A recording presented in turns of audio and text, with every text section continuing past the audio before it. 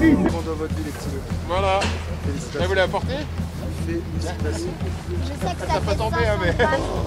Euh, Ça passe, mais 500 alors grammes, j'aurais même doucement, avec plaisir. Et on fait très attention, Allez. Merci beaucoup, merci, merci. pas là. Bah, c'est du plaisir, honnêtement. C'est...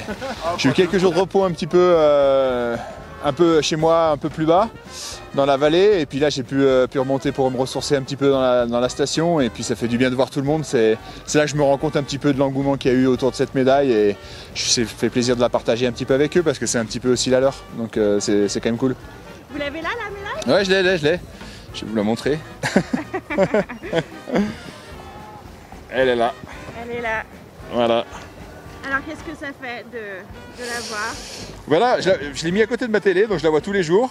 Euh, J'espère ne jamais m'y habituer et toujours la regarder avec euh, un regard d'enfant, mais en tout cas, c'est sûr que, bah, c'est l'accomplissement de toute une vie, quoi. Ça, j'en ai rêvé toute ma carrière et euh, je l'ai eu tard, mais vaut mieux tard que jamais. Donc non, c'est encore dur. Je réalise de petit à petit, mais c'est encore dur de la réaliser complètement.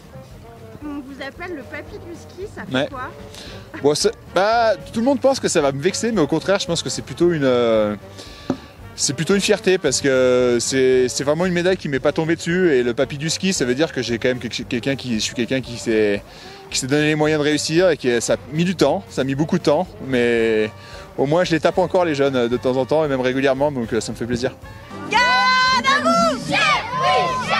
que vous êtes prêts Euh, une, une- une grande émotion, une grande fierté. Une grande émotion, une grande fierté, bien sûr. ouais. C'est la consécration pour lui Pour lui, la consécration, parce que il a eu beaucoup de, beaucoup de blessures. À chaque fois, il a fallu qu'il qu'il re- qu'il remonte, qu'il parle pas, qu'il qu'il parle du travail, hein, de la volonté, et ça n'a pas été facile. Voilà. Qu'est-ce que vous avez envie de lui dire? Ah ben, J'ai envie de lui dire, bon, d'abord, bien sûr, de le féliciter, c'est évident. Euh, et ensuite, j'aimerais qu'il fasse encore une saison pour euh, vraiment euh, boucler la boucle. Voilà. J'ai pas la, réponse encore. Honnêtement, c'est du 50-50 pour l'instant. Il y a, beaucoup de pour, il y a beaucoup de contre. Il y a des choses que j'ai du mal un petit peu à vivre maintenant. Et puis l'histoire serait belle de finir là-dessus.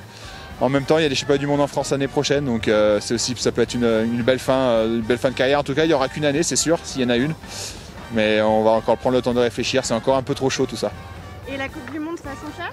Ça s'enchaîne, j'ai attaqué l'entraînement ce matin, là, j'étais sur les skis ce matin et je pars le lundi prochain pour, euh, pour la Norvège. Euh, avant-dernière étape de la Coupe du Monde, avant les finales en France à Courchevel pour, pour clôturer cette belle saison.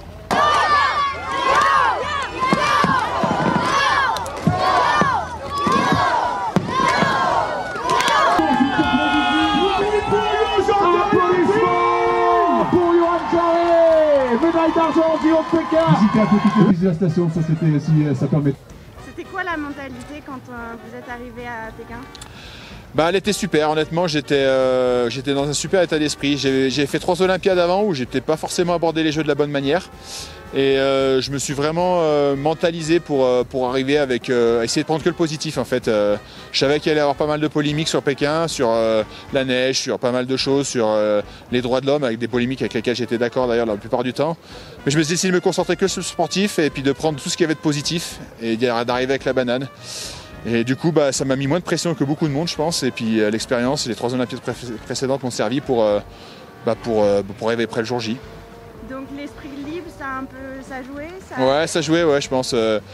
J'avais la pression comme tout le monde, mais je, je me, je, je me- je suis arrivé quand même tranquille. Honnêtement, j'avais le sourire tous les jours. C'était, j'ai essayé de prendre ça. Quoique, même si j'avais pas réussi ma course, j'aurais été content de la manière dont je l'avais abordé. Donc, de, ça, de, de- de ce point de vue-là, c'était, c'était déjà tout bénef.